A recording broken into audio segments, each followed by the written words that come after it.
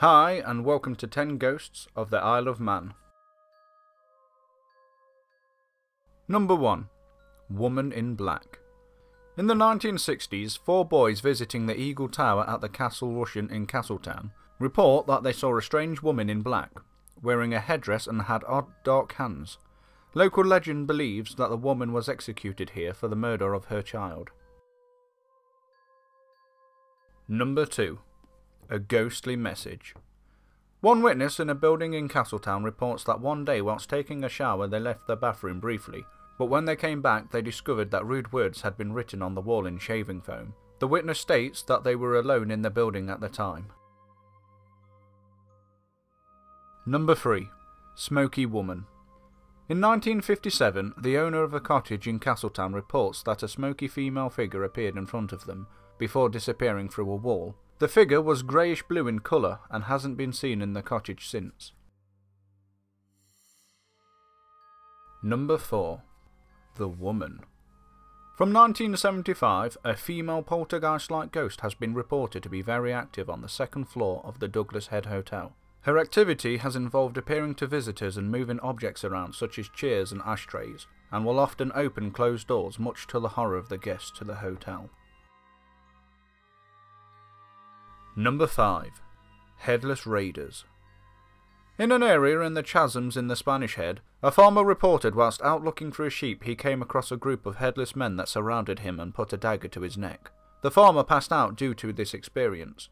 When he awoke, he discovered that he had a red mark on his neck that never faded. Number 6. The Witch Cry. Ghostly cries and screams can be heard all over the Slieau Whallian Hill in St. John's. The story goes that in the past when people had been accused of witchcraft, they were punished by being put into wooden barrels with spikes in them. Then they were rolled down the side of the hill. Number 7. Pirates. On the St. Michael's Island, there is a story that says that if you knock on the door of the church, you can hear the ghostly screams of a bunch of pirates that were killed on the nearby rocks after they tried to escape with the church's gold. Ruins in the area are also reported to be haunted by entities of people that are drowned in the area. Their spirits can be seen emerging from the sea and walking inland. Number 8. Glowing Orb. This report sounds maybe more like a UFO sighting. In 1985, a captain and his crew flying in an aircraft to the Isle of Man witnessed a bright spherical object that became an orange beam. Perhaps some ghostly energy, or maybe it was some kind of alien spacecraft. Number 9. Guest House. A guest house in Peel is home to quite a few entities. As reports go, there are a few Victorian dressed children that roam the building, and the figure of a man that hides his face away from any onlookers. Poltergeist activity has occurred, such as locked doors opening and small objects disappearing.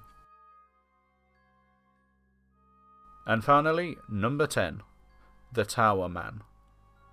At Port Erin, the spirit of a man can be seen walking up to the tower overlooking the bay. It is believed that the man killed himself in the area, though some believe it may have been murder.